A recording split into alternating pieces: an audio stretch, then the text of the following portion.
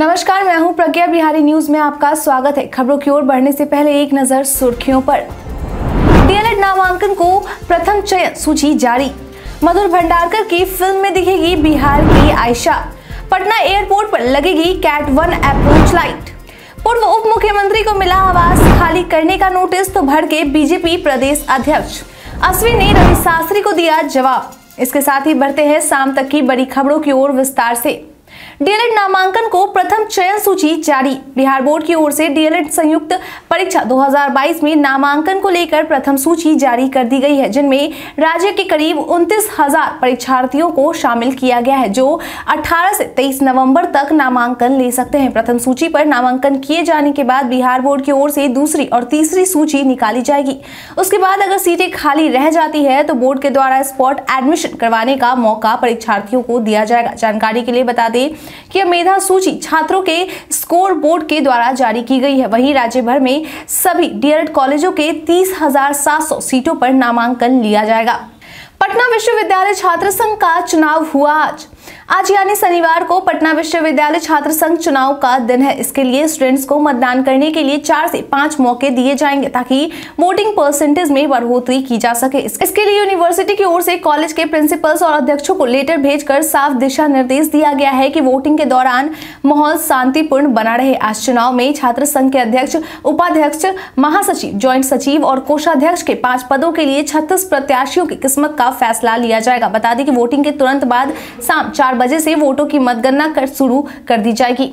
बिहार सरकार ने लापरवाह सीओ को किया निलंबित। राजस्व एवं भूमि सुधार विभाग द्वारा अधिसूचना जारी कर यह जानकारी दी गई है कि बिहार सरकार के द्वारा वैशाली के डीएम की रिपोर्ट पर उन अंचलाधिकारी को निलंबित कर दिया गया है जो लापरवाह और गैर जिम्मेदार है। बता दें कि बिहार सरकार के द्वारा जिस अंचलाधिकारी को निलंबित किया गया है, उनमें हाजीपुर के अंचलाधिकारी मुकुल कुमार झा है। अंचलाधिकारी के खिलाफ वैशाली के डीएम के द्वारा 24 सितंबर 2022 को रिपोर्ट भेजकर कहा गया था कि बिना सूचना दिए बैठक से अनुपस्थित रहने, दाखिल खारिज के काफ़ी मामले लंबित रखने, स्पष्टीकरण का जवाब नहीं देने, आपदा प्रबंधन के आठ करोड़ छियासी लाख पैंतीस हज़ार की उपयोगिता प्रमाण पत्र जमा नहीं करने जैसे कई संगीन आरोप लगाए गए थे।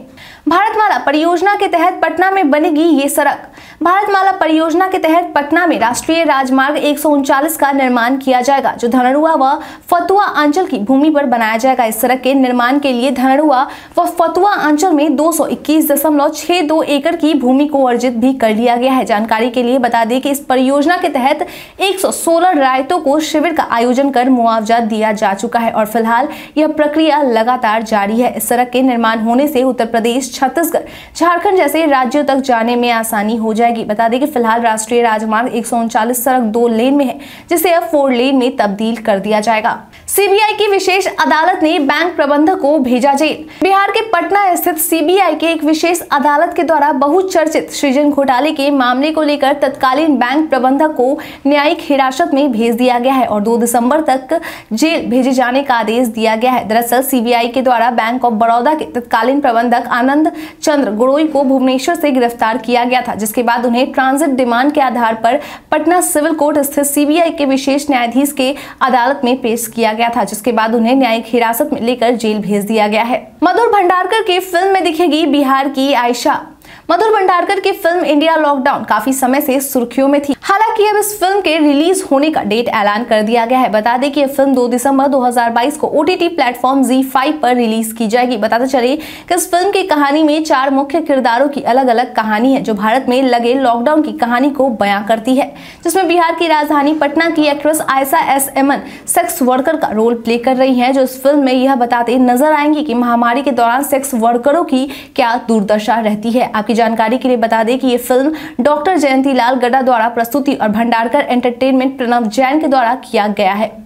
पटना एयरपोर्ट पर लगेगी CAT one approach light Bihar में बढ़ते ठंड से होते कुहासे को देखते हुए पटना एयरपोर्ट के रनवे पर विमानों की लैंडिंग क्षमता में वृद्धि करने के लिए कैट वन अप्रोच लाइट लगाई जाएगी। इस लाइट के लगाने से एयरपोर्ट पर न्यूनतम विजिबिलिटी आवश्यकता एक हज़ार मीटर से घटकर 700 मीटर हो जाएगी और इससे लैंडिंग की क्षमता में वृद्धि होगी। इसके साथ ही प्रमंडलीय आयुक्त कुमार रवि की अध्यक्षता में एक बैठक आयोजित की गई, जिसमें पटना और बिहटा एयरपोर्ट की सुरक्षा, विमान लैंडिंग व अन्य मुद्दों पर विस्तार पूर्वक चर्चा की गई है। इसके साथ ही यह भी कहा गया है कि फ़्लाइट की सुरक्षा को देखते हुए समय समय पर आसपास के पेड़ों की छटाई भी की जाएगी।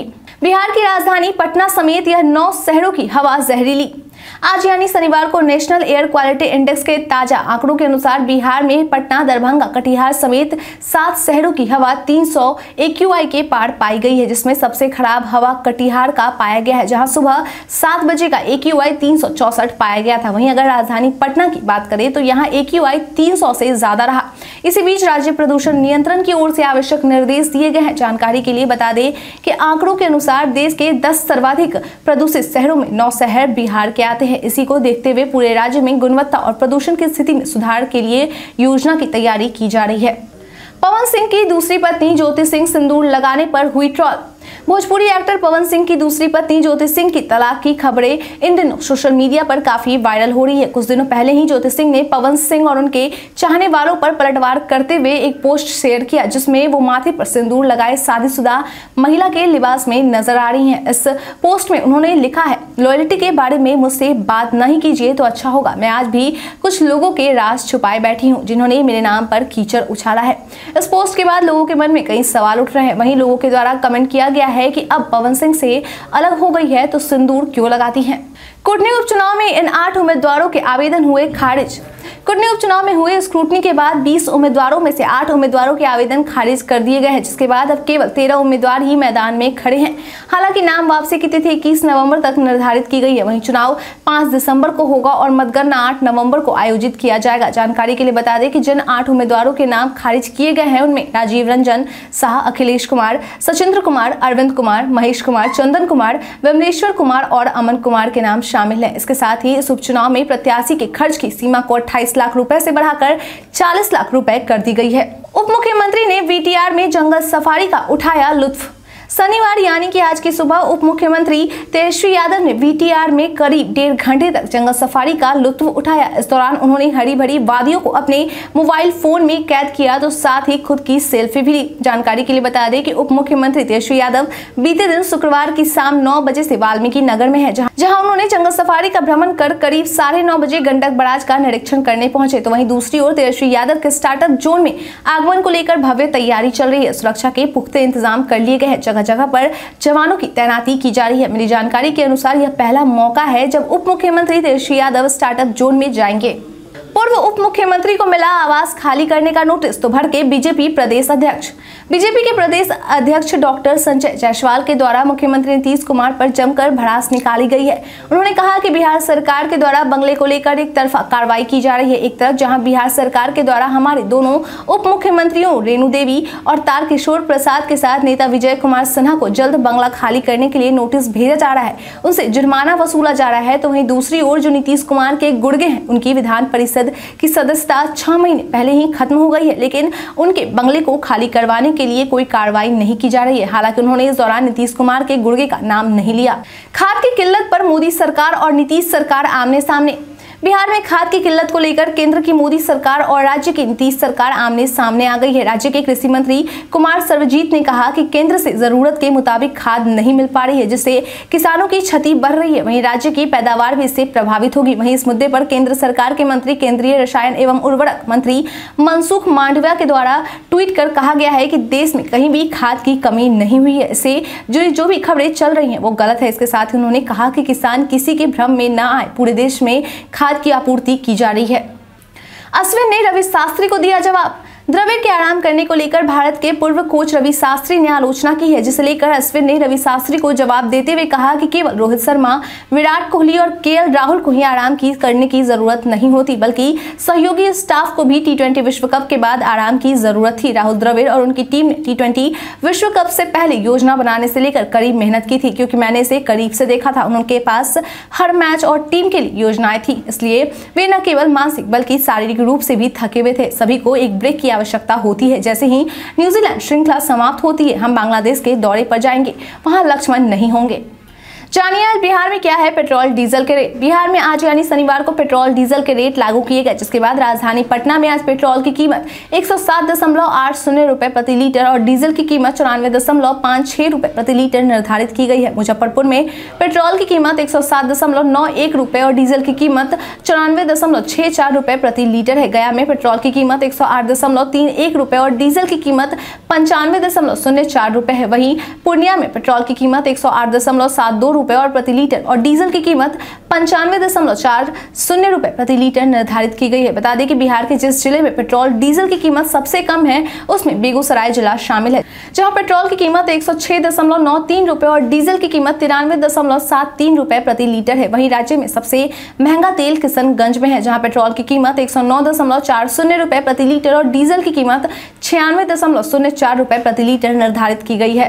बीते दिन हमारे द्वारा पूछे गए सवाल का आप लोगों में से बहुत लोगों ने अपना जवाब हमें हमारे कमेंट सेक्शन बॉक्स में लिख कर दिया था। जिन्होंने हमारे द्वारा पूछे गए सवाल का जवाब दिया है, उनके नाम है मृत्युंजय कुमार, रविशंकर, रंजीत मिश्रा, नुन्नू गोलू कुमार, गुंजन सिंह, मोहम्मद नौशद राजा, अजय, अनवर करीम खान, कुमार सौरभ, पवन कुमार, राजेश सुंथालिया, बाबूलाल मरांडी, अमृता कुमारी, कविता कुमारी, मुतुर रंगीला। अब बढ़ते हैं आज के सवाल की ओर। आज का सवाल है, आपके अनुसार कुर्नी उपचुनाव में आठ उम्मीदवारों का नाम खारिज होने से चुनाव के दूसरे उम्मीदवारों को क्या फ़ायदा मिलेगा? अपना जवाब हमें हमारे कमेंट सेक्शन में लिखकर ज़रूर बताएँ। आज के लिए इतना ही। बिहार के तमाम खबरों के साथ बने रहने के लिए देखते रहें बिहार न्यूज़।